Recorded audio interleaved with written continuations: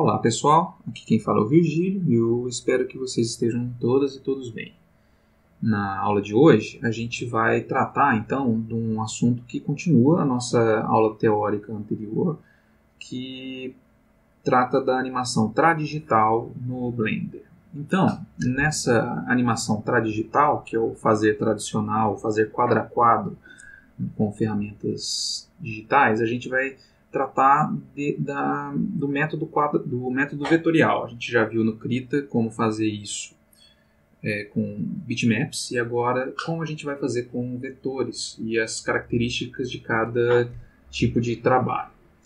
E aqui a gente vai ver então como fazer um bom uso de referências e como a gente também vai ajustar as propriedades das nossas ferramentas de desenho e pintura para que a gente consiga uma melhor finalização da, das nossas formas, além de fazer um bom uso de materiais e, de, e controle de, de, camadas, né, organização dessas camadas para que o nosso trabalho fique mais simplificado.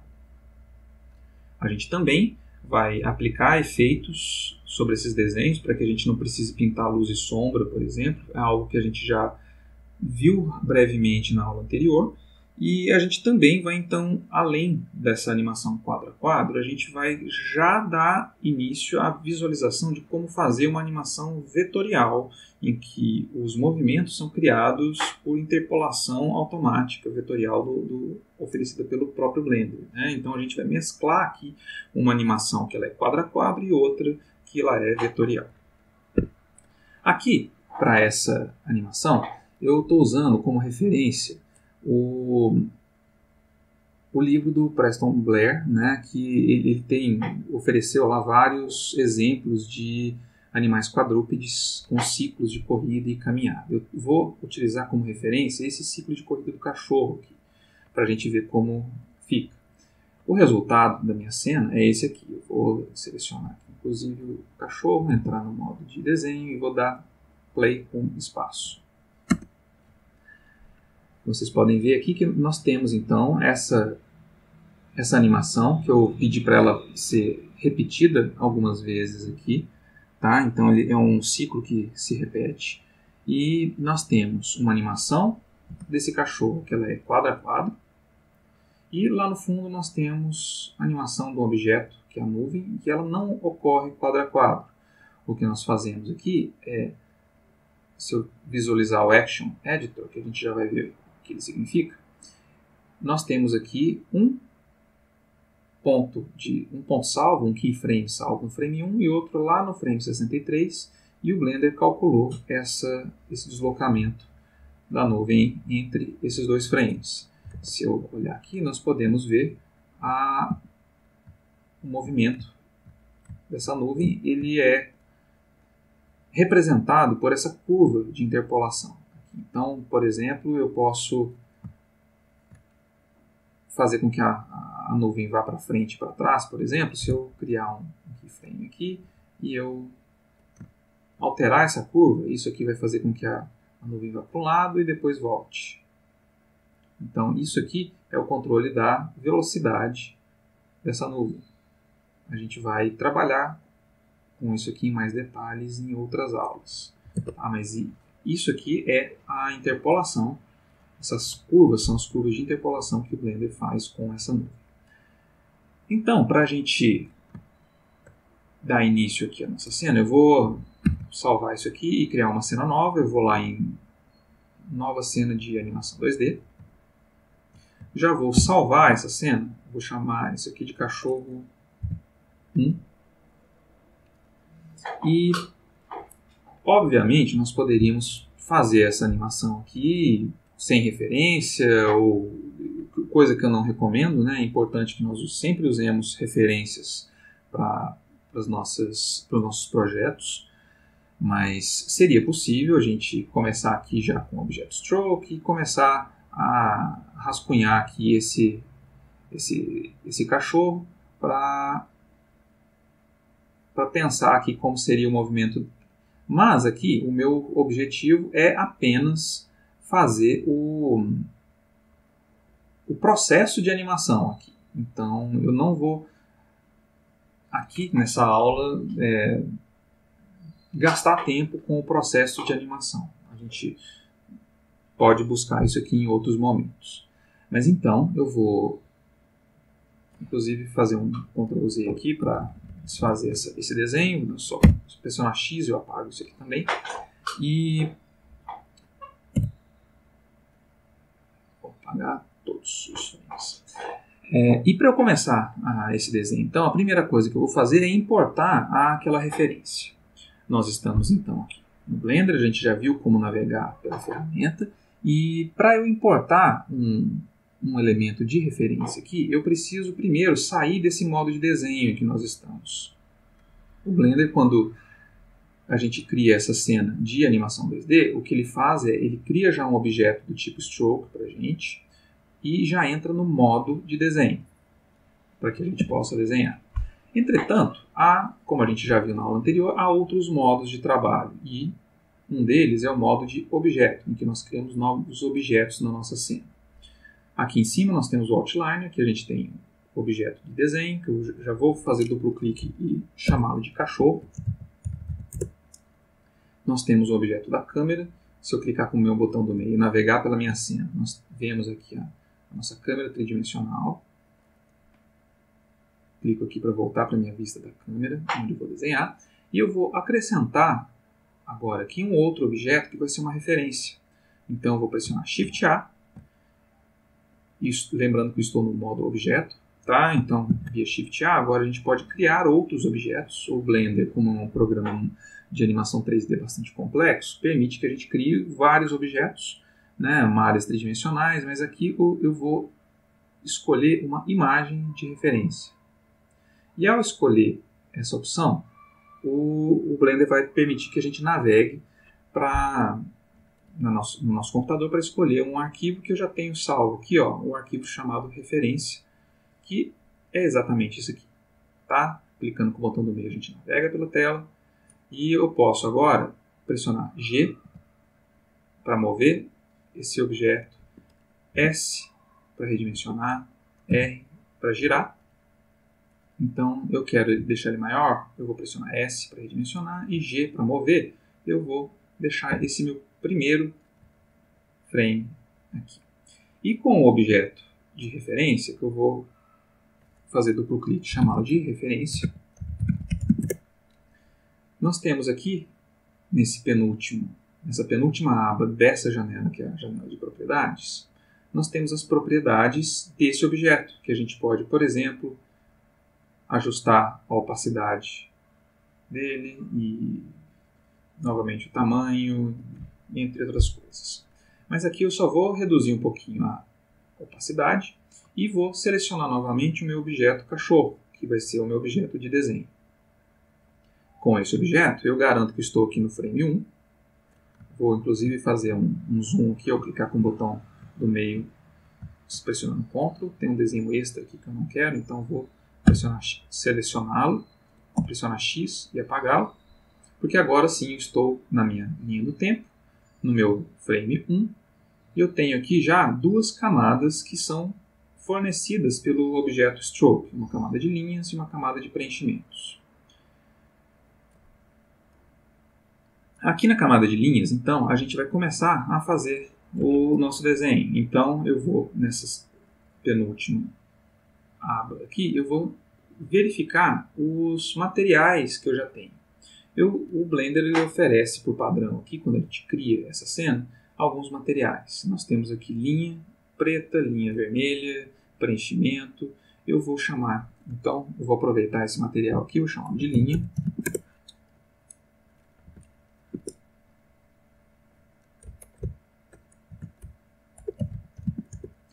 Eu não quero esse, essa segunda linha, eu vou remover esse material e vou remover esse material aqui, porque nós temos agora um material de preenchimento sólido, que eu vou chamá-lo de pele do cachorro. Eu vou criar um segundo material, que eu vou chamá-lo de sombra. Para as patas que ficam aqui atrás, que elas têm uma tonalidade um pouquinho mais escura, então vou chamá-lo de pele sombreada. Fica mais claro o que a gente vai fazer aqui. E eu vou daqui a pouco editar as propriedades desses materiais. Então eu vou criar só mais um, eu vou chamá-lo de nariz e olho, que vai ser um material preto. E nas propriedades desses materiais, então, a gente já viu brevemente que se eu vier aqui na minha agora no modo de desenho e simplesmente desenhar, a propriedade da linha a gente vai controlar como referência. Então, uma vez que eu já desenhei, eu posso vir aqui ó, e mudar a cor dessa linha. Eu vou vir aqui para o modo renderizado, clicar sobre esse botão aqui para a gente ver melhor o resultado. Então a gente pode aqui ó, mudar as cores desse, dessa linha. A gente pode habilitar a propriedade de preenchimento, por exemplo, e mudar a cor desse preenchimento.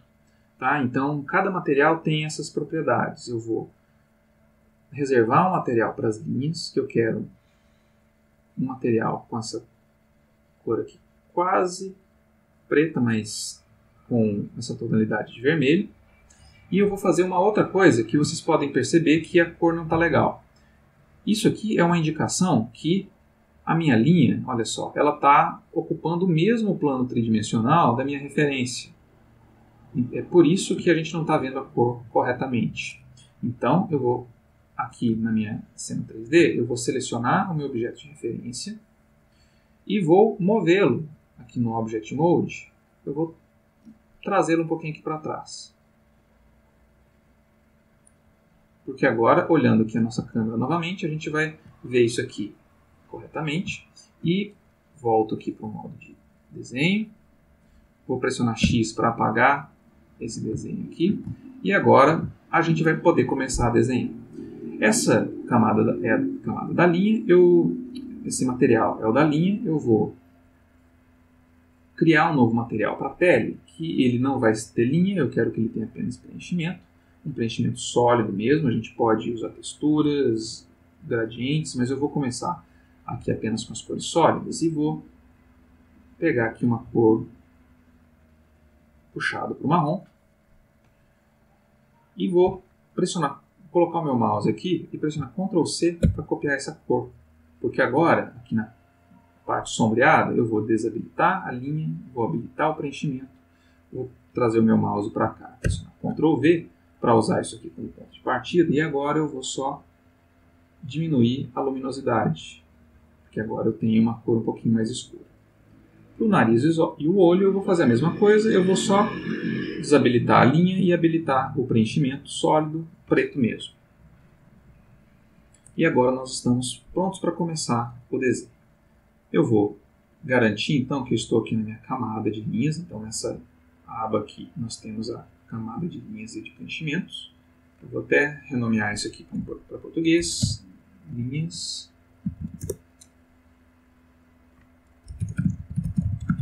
E preenchimentos, ou cores, para ficar mais rápido. E na camada de linhas, agora a gente vai começar a fazer esse desenho e antes de começar a desenhar, a gente vai ver as propriedades da ferramenta de desenho. Eu posso começar a desenhar aqui, mas só que a gente vai ter já alguns problemas. Eu, por mais que eu, eu tente manter minha mão firme, eu vou ter alguma coisa tremida aqui nessa linha. E a cor não está legal também. Então, para corrigir isso aqui, a primeira coisa, para a gente ver o problema da cor, o, isso aqui se dá por conta da propriedade strength, que é a força do meu, do meu pincel.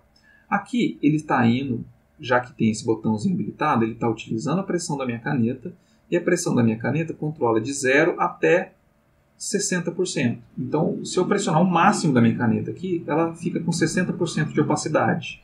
E não é isso que eu quero. Se eu pressionar X, eu apago o desenho. Então, eu vou colocar isso aqui em 100% e vou desabilitar o controle de opacidade pela pressão. Eu quero que a minha pressão controle apenas o raio, que ele vai de 0 até 20 pixels. Então, olha só, agora ele mantém o controle da dimensão, de vai de 0 até 20 e mantém aqui essa cor que a gente já definiu. Só que a gente ainda tem um problema que, por mais que eu tente desenhar isso aqui com precisão, a minha mão treme. Então eu vou apagar esse desenho e vou aqui nas propriedades do, da ferramenta, eu venho aqui em Stroke e vou ligar as propriedades de estabilização. Geralmente, essas propriedades aqui já vêm num valor razoável, mas a gente pode alterar isso aqui. Eu vou ligar então a estabilização e nós temos aqui 40 pixels de, de limite, né, de, de folga. E agora, olha só, eu vou começar a desenhar isso aqui. E eu posso parar em alguns momentos e vejam que esses 40 pixels são esse limite para que eu mova o meu mouse sem interferir na linha. E agora, então, eu vou fazer esse traçado aqui. Então, isso aqui é um processo de cleanup.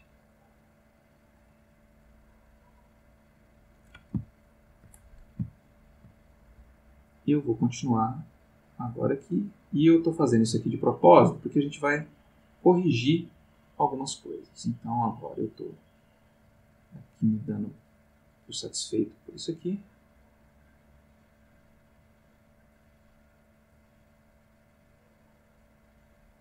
Eu vou fazer esse primeiro desenho.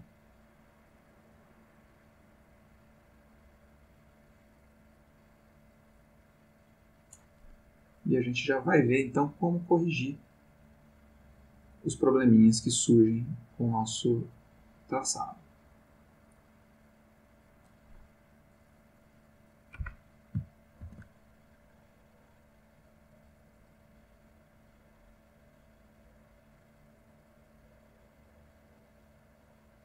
Quase terminando.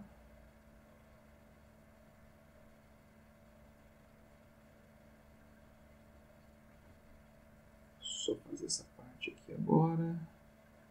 Ele está em contato com o chão. E aqui eu termino com a cauda dele.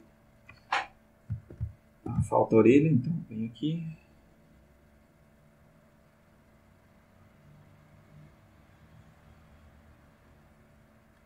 Legal. Posso vir aqui agora também e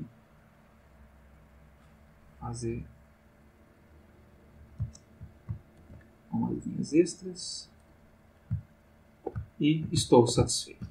Agora, a gente tem aqui algum, algumas linhas a se corrigir. E a gente tem várias, vários modos de se fazer essas correções. A gente pode, por exemplo, usar a ferramenta de borracha, mas a ferramenta de borracha, olha só, ela vai ela pode ser muito suave. Vou dar um Ctrl Z aqui. A gente pode aumentar a, a força dela também e para fazer com que isso aqui possa ser melhor. Mas eu, a gente tem algumas outras opções para fazer um, um, correções mais precisas. E no meu caso, eu recomendo a gente entrar no modo de edição. No modo de edição a gente controla aqui em cima ou basta pressionar Tab que a gente já entra no modo de edição e a gente pode aqui ó, escolher os pontos que constituem esse cachorro. E aqui a gente pode, por exemplo, agora clicar sobre uma linha a gente vai ver os pontos que correspondem a essa linha. Eu estou selecionando um ponto, pressionando G para mover. E a gente pode então, olha, selecionar alguns pontos extras e pressionar X para apagar os pontos. E com isso, a gente consegue uma maior precisão. E também a gente pode mover isso aqui ou fazer uma outra coisa. Olha só, aqui no modo de edição, a gente tem essa ferramenta aqui que controla a espessura. Então, olha só, ao selecionar um ponto, clicar e arrastar, a gente aumenta ou diminui a espessura desse ponto. Então, eu posso fazer isso aqui e selecionar alguns pontos e aumentar a espessura deles. Além de mover, claro, posso inclusive apagar isso aqui.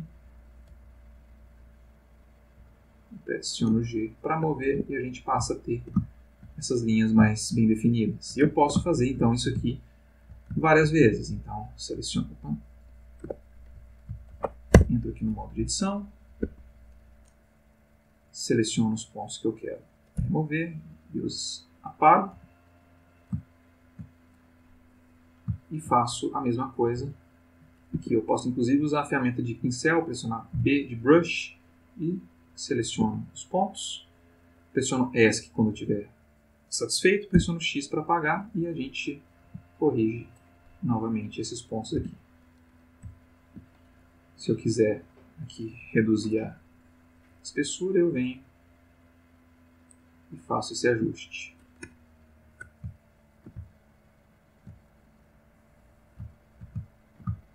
E aqui eu tenho um probleminha que essa, essa cauda não ficou tão legal. Eu vou agora entrar no outro modo, pressiono Ctrl Tab, e eu vou escolher aqui, ó, nós temos o modo de desenho e o modo eh, de edição, que a gente já viu, desenho, edição e o Object Mode. Eu vou entrar aqui no modo de escultura. Aqui no modo de escultura, a gente tem várias ferramentas, uma delas aqui é a, a padrão, é a Push. A ferramenta Push, olha só, permite que a gente puxe e empurre pontos do nosso traçado. E eu vou aumentar o meu raio, eu posso aumentar o raio aqui, ou pressionando F, que aumenta o meu raio, e Shift F, eu defino a minha intensidade. Então, isso aqui serve também lá para a ferramenta de desenho. Então, com esse raio maior aqui, eu vou só ajustar essa cauda para ela ficar mais, mais próxima da minha referência. Posso fazer a mesma coisa aqui com queixo dele. Né? O cachorro não tem queixo, né? mas seria isso aqui. Agora, digamos que eu estou satisfeito com esse resultado. Eu posso inclusive voltar para a ferramenta de desenho e só fazer mais uma linha aqui para a gente ter mais detalhes. Para finalizar essa parte aqui, eu vou agora apenas selecionar a opção nariz e olho e vou usar a ferramenta de desenho de elipses e vou clicar e arrastar e confirmo com Enter porque agora eu já tenho essa parte aqui, eu posso entrar inclusive no Edit Mode para mover isso aqui para outro lado se eu não estiver satisfeito. Né? Então a gente pode aqui editar esse resultado. Agora que eu fiz as minhas linhas, eu posso repetir isso aqui com o restante do processo. Então, já que eu estou usando as minhas referências, agora eu posso selecionar o meu objeto de referência, vou lá para o Object Mode, e como eu estou com ele selecionado, eu posso agora movê-lo, pressionar G e X para movê-lo aqui no eixo X. E agora eu tenho aqui essa outra pose que eu posso utilizá-la. Então eu volto para o meu objeto do cachorro, venho aqui para a ferramenta de desenho, e agora eu estava no frame 1, eu pressiono seta para o lado, estamos no frame 2, e eu posso começar a desenhar. Só que para eu começar a desenhar, eu posso fazer isso aqui, e quando eu fizer isso, confirmar, o Blender já vai criar um novo frame para mim. Só que eu quero voltar aqui, né? se eu fizer isso aqui também, ele vai para lá. Eu vou selecionar a ferramenta linha e para já ver o meu Onion Skin, eu vou pressionar I. Se eu pressionar I, eu incluo um novo keyframe, que a gente pode ter aqui, ó, criar um keyframe vazio em todas as camadas. Então agora nós temos essa opção aqui. Inclusive ele não, não, tinha, não tinha keyframe aqui nas cores, mas a gente vai fazer isso facilmente também. Mas então agora nós temos aqui o nosso cachorro que a gente vai olhar agora aqui nas nas propriedades. Eu vou sair da versão renderizada, eu venho aqui para essa outra versão que é a, a visão sólida, porque na visão sólida a gente vê o Onion Skin. O Onion Skin é ativado ou desativado nesse botãozinho aqui, tá? Que ele existe aqui também nessa visão aqui das camadas. Então agora nós temos o, o nosso Onion Skin, que a gente viu no anterior, e eu vou agora só fazer o meu novo desenho aqui. Seleciono a camada da linha e venho, e venho aqui novamente. Então, agora eu vou fazer um pouquinho mais rápido. porque a gente já viu como é que faz o processo. E eu não vou fazer todos os quadros aqui, eu vou fazer apenas dois, porque o processo ele vai ser repetitivo e vocês vão entender como ele foi feito. E agora então, ao se criar isso aqui, eu já tenho a new skin, eu posso desabilitá-lo quando eu achar melhor e posso aqui continuar com o meu processo de desenho.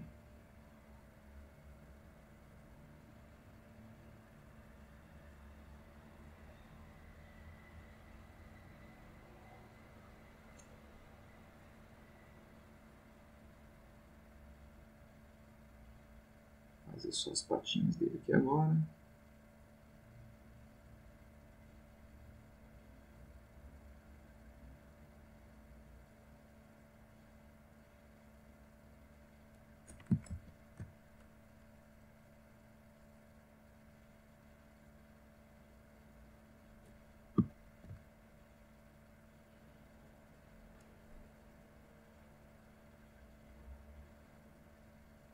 Lembrando que Ctrl Z é amigo de todos nós. Se a gente errar, é só desfazer o erro.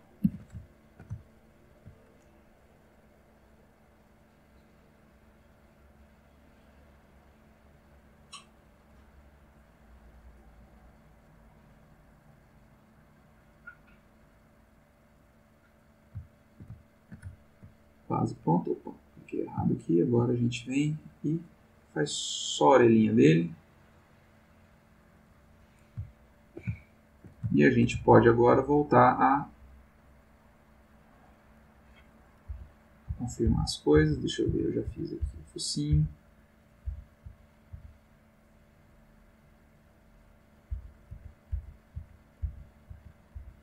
Vou inclusive entrar no Edit Mode, que a gente pode agora copiar esse olho aqui, pressionar Ctrl C, avançar um quadro, Ctrl V, e a gente traz isso para cá e liga aqui o Onion Skin para a gente ver se está legal.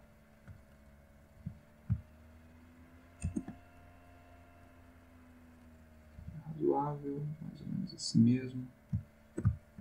E agora vamos lá corrigir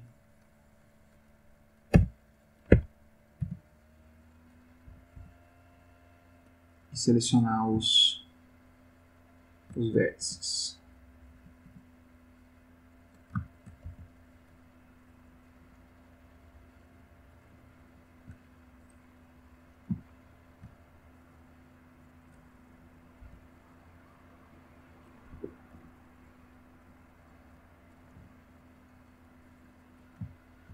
Aqui estou pressionando C, tá? Não é B para o brush, é C de Circle Select.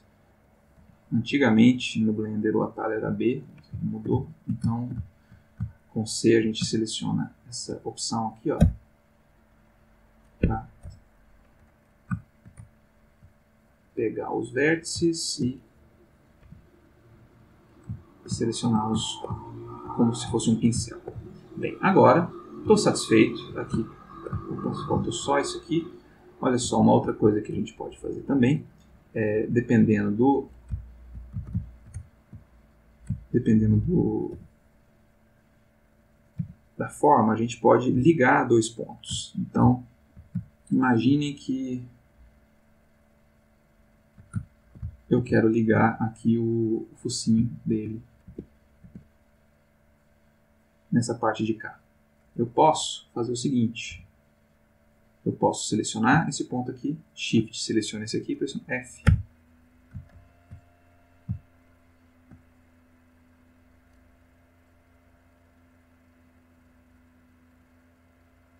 Aqui é porque eu estou com uma linha diferente, mas na mesma linha a gente pode pressionar F. Né? Se eu selecionar aqui, eu posso selecionar essas duas e pressionar F, que daí ele junta.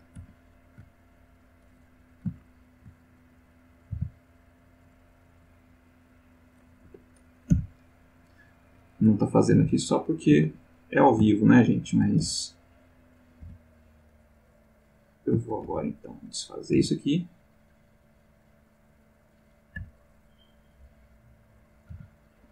E manter a nossa, a nossa linha aqui. Bem, agora que eu tenho então esses dois frames, a gente pode começar a parte da pintura. Então eu vou sair aqui do modo de edição, volto para o meu modo de desenho, ligo de novo as ferramentas com T. E para fazer essa pintura, então, a gente vai usar as próprias linhas que foram definidas. Então, agora aqui eu vou selecionar o material da pele, eu vou ativar o, ferramenta de preenchimento e basta eu clicar aqui na, na forma do meu cachorro que a gente vai conseguir pintar isso aqui. O, o Blender ele vai identificar a, as linhas. O problema é que eu estou pintando na camada errada. Então eu vou fazer um Ctrl Z aqui, ó, porque a gente vai precisar selecionar a camada correta. A gente vai pintar na camada das cores. E isso sim vai permitir que a gente veja as linhas corretamente e os traçados que foram feitos posteriormente. Então eu pinto aqui, avanço um frame, pinto aqui.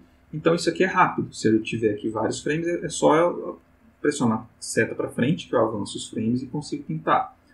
Agora eu venho aqui na, pele sombreada e, e faço a pintura aqui, retrocedo um quadro clico aqui e vou novamente agora para o nariz e eu tenho esses dois frames pintados.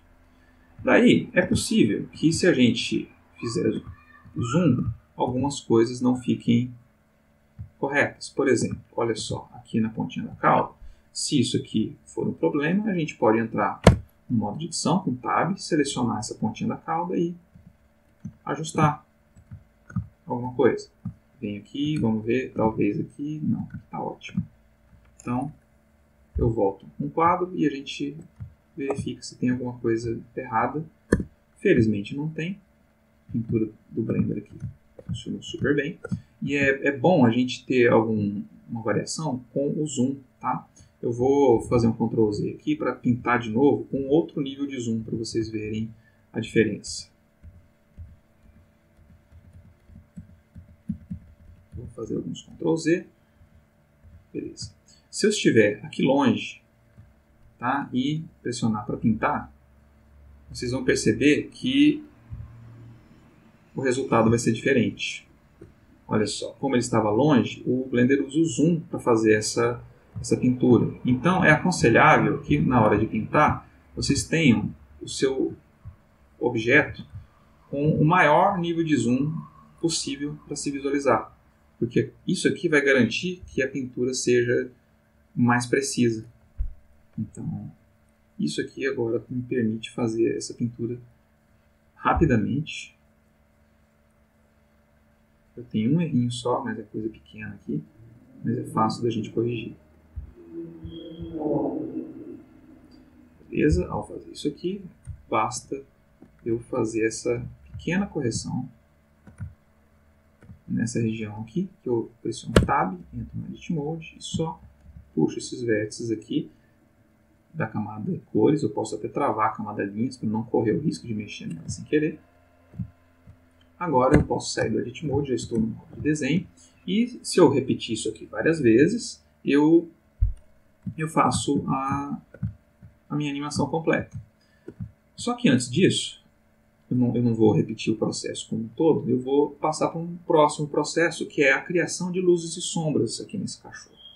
A gente pode vir aqui agora para a aba de efeitos, porque na aba de efeitos nós temos vários possíveis, e eu recomendo a gente usar a opção Rim.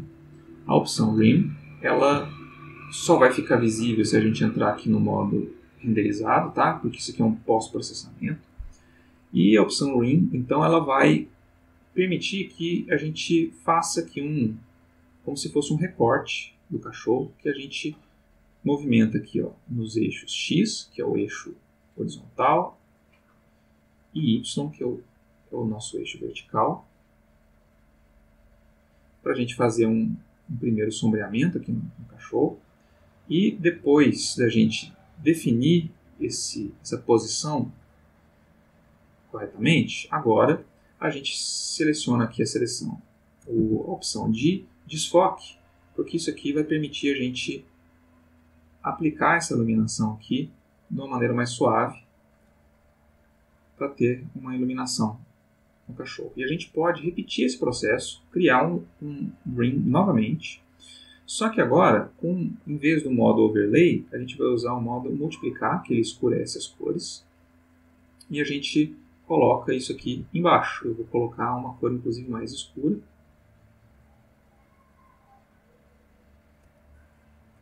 E agora a gente ajusta aqui essa, essa posição. E também usa as opções de desfoque para dar um sombreamento melhor aqui nesse cachorro. Já está legal, a gente pode ajustar essas cores aqui. Quiser deixar um pouquinho mais escuro e esse outro um pouquinho mais claro.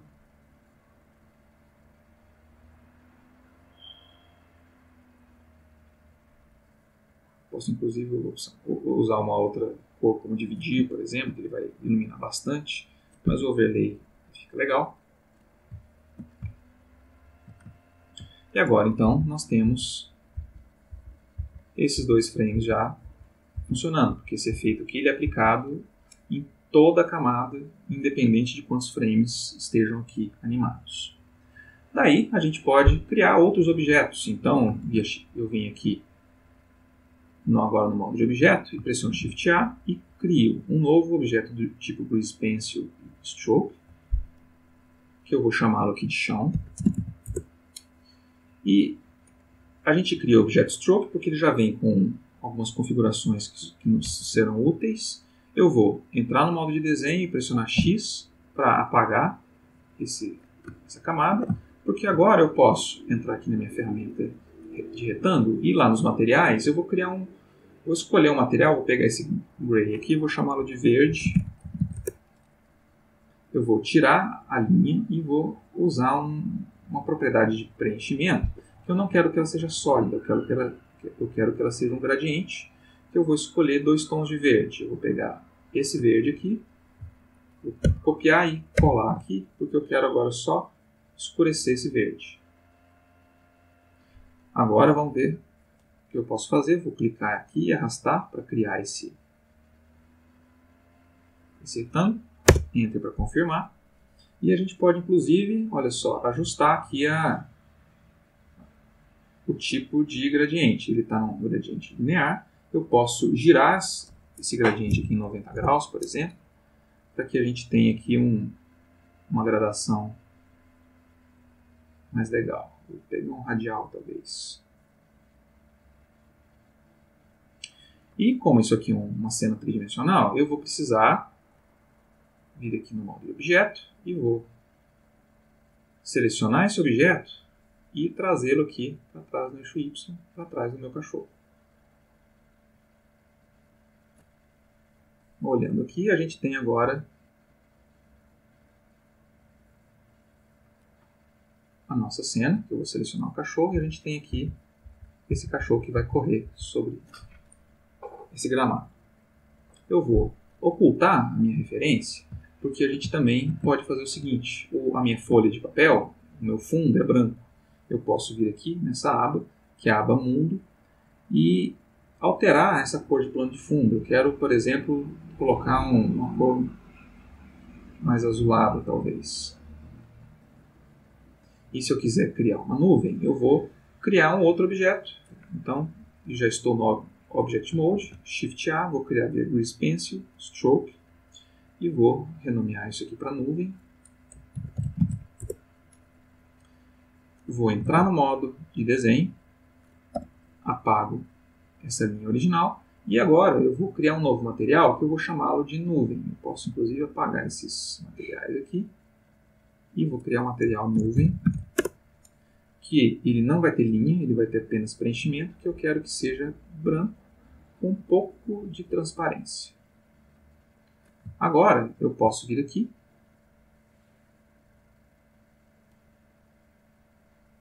e fazer